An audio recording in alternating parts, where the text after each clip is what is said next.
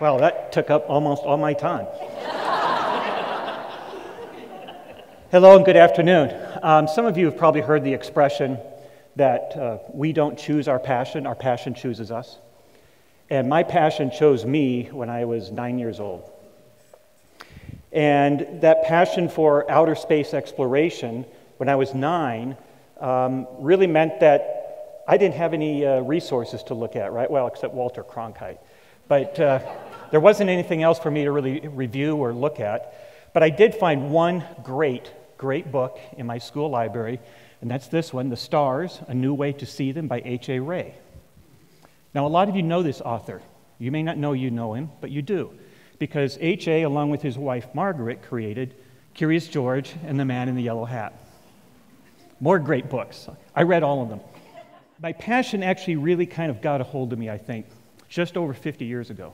And I'm sure most of you know what I'm talking about, right? That was when my family and I sat in our living room in Oregon and watched Armstrong and Aldrin take the first steps on the moon. And we sat there and we could look at it on the TV and look up from the TV out our picture window and look at the full moon and back at the TV.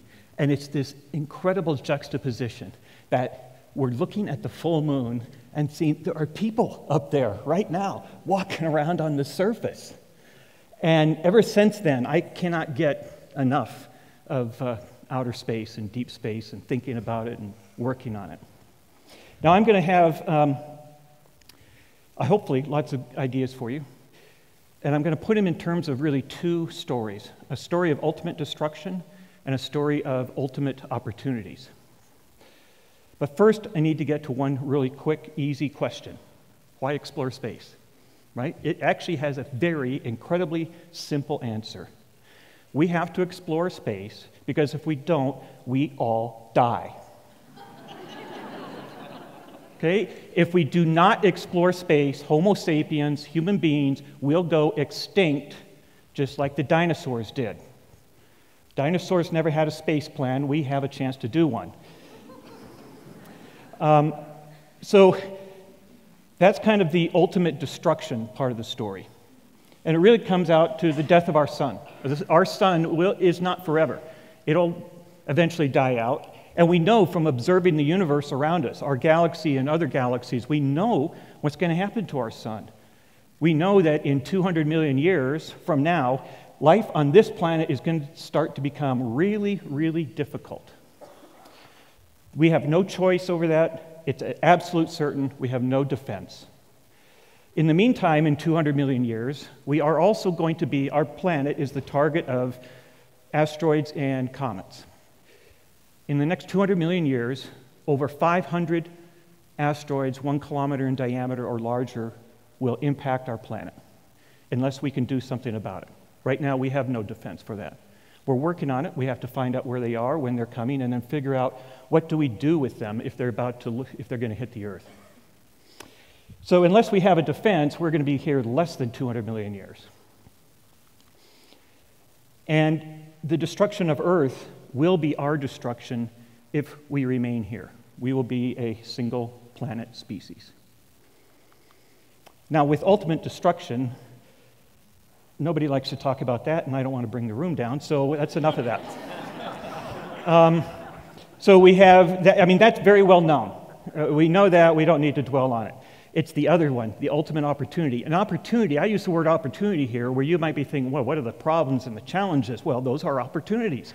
And this is about imagination. And it's time for you to use your imagination to figure out how we're going to get through all this. So, what are some of those obstacles, the challenges? I'm sure we could, you know, if we got together, we could spend the next 200 million years creating 200 million challenges.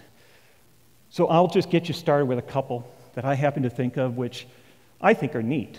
Um, and you can probably come up with your own, but this will give you kind of an idea about what I'm thinking of.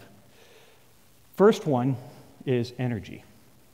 Well, I'm an engineer, so this is the one that occurs to me first. Um, and that is what's the amount of energy it's going to take to send the world's population to another star? Let's say there's 10 billion people. What's it going to take to send 10 billion people to another star? And I have no clue whatsoever. So then I came back and I said, well, okay, what would it take to send them just to Mars? or just to the moon.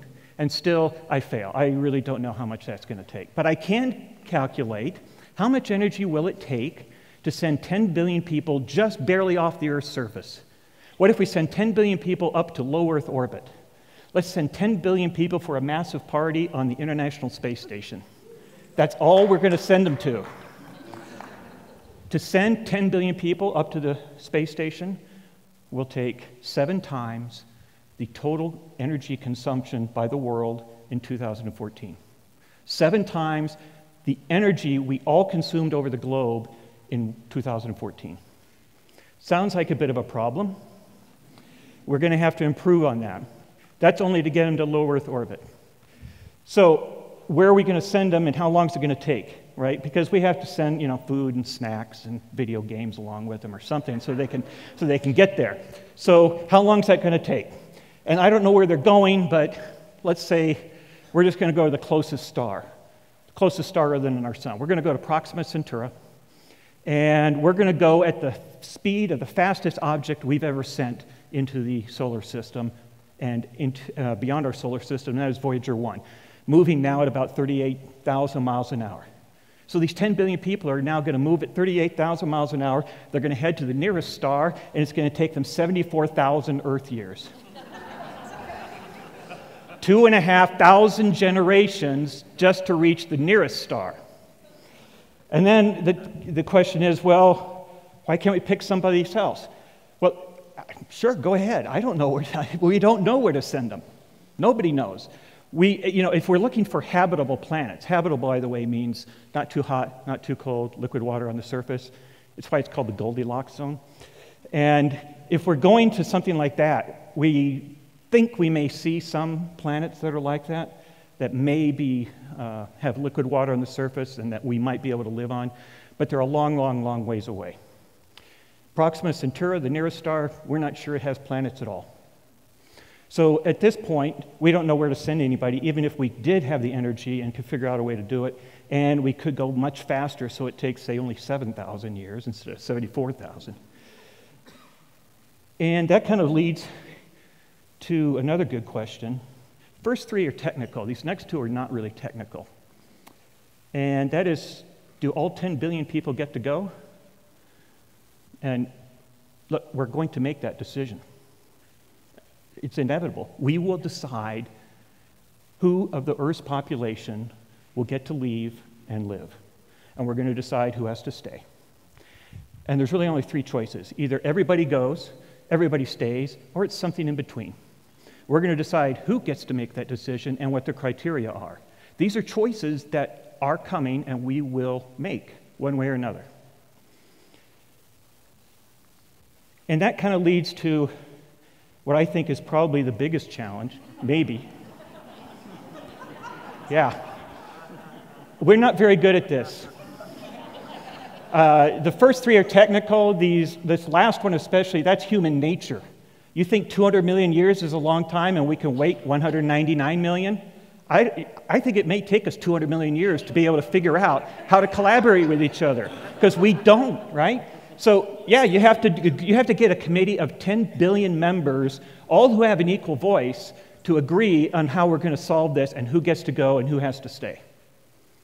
So, here's my key takeaway human beings, Homo sapiens, we have to evolve and become an entirely different species. We have to become a spacefaring species. That is, living exclusively in outer space, no planets.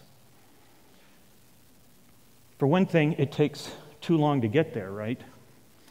And by the time we've spent two and a half thousand generations living in outer space, why stop? Right? Why do we need another planet? Why do we keep looking for an Earth like planet to live on? That is the wrong goal. We don't need a duplicate of where we just left. So we're looking at our next evolutionary step. Just as we went from water to land, now we need to move from land into space. And that's what we're going to do, or you know the alternative. And when we get into outer space, we're going to have to figure out how to engineer our bodies right? There's some genetics in here that we, right now, we're not capable of really living in space for very long. and we're probably going to have to change that. Now, we've taken a great idea from Charles Darwin and really corrupted it, and now we say only the strongest survive. No matter how many sports team coaches say that every weekend, it has no basis in reality. and it's not the strongest that survive. It's not the most intelligent that survives. It is the species that is most adaptable to change. That's what survives. Remember, some of you probably do, there's an old adage that after a cataclysmic nuclear war, there, everything on earth would be dead except for the cockroaches. right? Is it because the cockroaches are the strongest species? No. I pray it is not because they are the most intelligent. but cockroaches adapt. They know how to adapt to pretty much anything. That's why they're survivors.